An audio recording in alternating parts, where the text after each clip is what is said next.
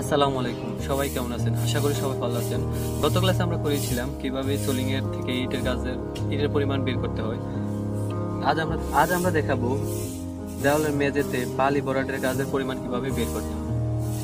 আপনি যদি আগের ভিডিওটি, আমাদের আগের ভিডিওটি না দেখে থাকেন, অবশ্যই দেখে আসুন। না হলে আপনি খুব ভালোভাবে এটা বুঝতে পারবেন। আজকে যে ম্যাথটা করব, এটা হচ্ছে স্টেমিনি কস্টিং বই ওয়ান বইয়ের একষট্টি নম্বর পেজের তেইশ নম্বর ম্যাথটা আমরা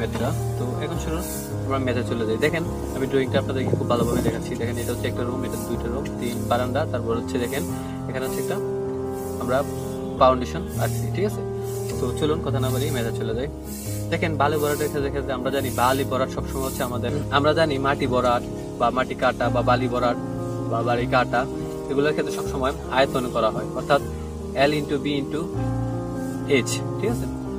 তো এখানে হচ্ছে, দেখেন এন হচ্ছে তো আমরা জানি ওয়ান এল এর মান। এল এর মানটা কত? Four point eight seven five এটা কীভাবে আসলো? দেখাচ্ছি। দেখেন দৈর্ঘ্য হচ্ছে কি দাম? এল এল হচ্ছে আমাদের কত? পাঁচশো। দেখেন এখান থেকে আমার দেওয়াতে ড্রয়িং এ, এখান থেকে এখানে হচ্ছে পাঁচশো। এই জন্য আমরা পাঁচশো সেন্টিমিটার লিখলাম, তারপর হচ্ছে minus two into six point two five six point two five কেন আসলো? এই দেখেন এখান থেকে এই যে এই থেকে এতটুকু আমাদের সাতত্রিশ পয়েন্ট ফাইভ আমি গত ক্লাসে দেখিয়েছিলাম কীভাবে এখানে six point five six point two five আসে, ঠিক আছে? এখানে সিক্স পয়েন্ট টু ফাইভ আসে, ঠিক আছে? আমি গত ক্লাসে এখানে দেখিয়েছিলাম। এটা সেন্টিমিটার অবশ্যই আমরা গত ক্লাসটা দেখে আসবেন, খুব ভালোভাবে বুঝতে পারবেন। তারপর আমি বলে দিই একটু সাতত্রিশ পয়েন্ট ফাইভ সেন্টিমিটার এখানে, আর এখানে পঁচিশ সেন্টিমিটার এখান সাতত্রিশ পয়েন্ট ফাইভ সেন্টিমিটার থেকে পঁচিশ সেন্টিমিটার বাদ দিলে তাহলে আমরা দুই বারো পয়েন্ট ফাইভ ফাইভ সেন্টিমিটার পাই।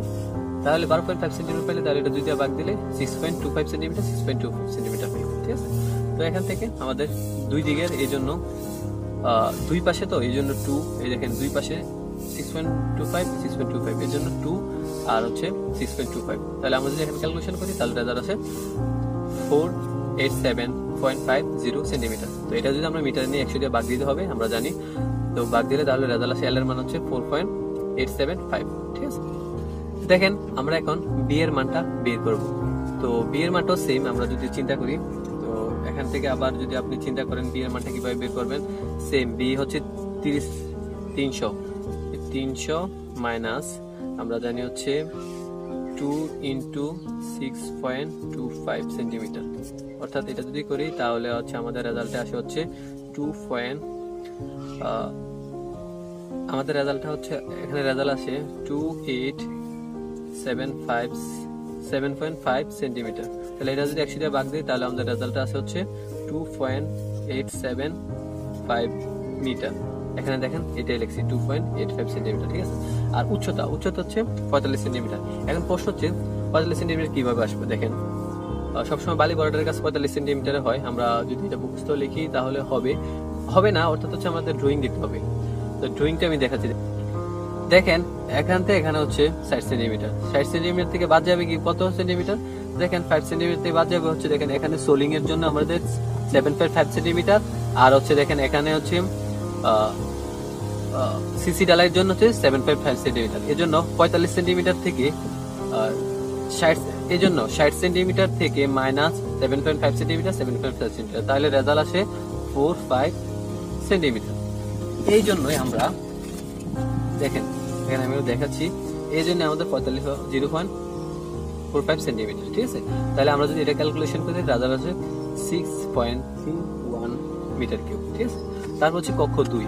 কক্ষ দুই হচ্ছে এটা, পাঁচশো ইন্টু পাঁচশো, ঠিক আছে? না, পাঁচশো ইন্টু পাঁচশো, তো দুইটা রেজাল্ট তো একই হবে বি এবং এল সেম হবে। তো আমরা দেখি পাঁচশো থেকে বাদ দেয় কীভাবে? পাঁচশো minus two into six point two five ঠিক আছে? যদি আমরা বাদ দিই, তাহলে আমাদের রেজাল্ট আছে four point eight seven five ঠিক আছে? ইন্টু আবার এটা যদি বিএও আসে four point eight seven five into zero point four five metre তাহলে যদি আমরা ক্যালকুলেশন করি, তাহলে রেজাল্ট আছে ten point six nine metre cube ঠিক আছে, তারপর হচ্ছে বারান্দা ওয়াল ঠিক আছে? বারান্দার মাপটা হচ্ছে সেম আমরা জানি পাঁচশো। দেখেন বারান্দার মাপটা, দেখেন এখান থেকে এখানে হচ্ছে পাঁচশো এই জন্য পাঁচশো। পাঁচশো থেকে যদি আমরা সেম আবার এখানে দৈর্ঘ্যের মধ্যে চিন্তা করি, পাঁচশো মাইনাস টু পয়েন্ট দুই সেটেরটা যদি সিক্স পয়েন্ট বাদ দিই, তাহলে রেজাল্ট আছে four point eight seven five into তারপর হচ্ছে one point six two five same এটা হচ্ছে সেম ভাবে বাদ যাবে বারান্দাটা। এখান থেকে দৈর্ঘ্য দেওয়া আছে সেম ভাবে এখান থেকে one point six two five বাদ যাবে, ঠিক আছে? আবার এটা তো same zero point four five লেখা থাকবে। তো আমরা যদি ক্যালকুলেশন করি, তার রেজাল্ট আসবে three point five six metre cube তাহলে মেঝেতে মোট বরাটার পরিমাণ হবে কি?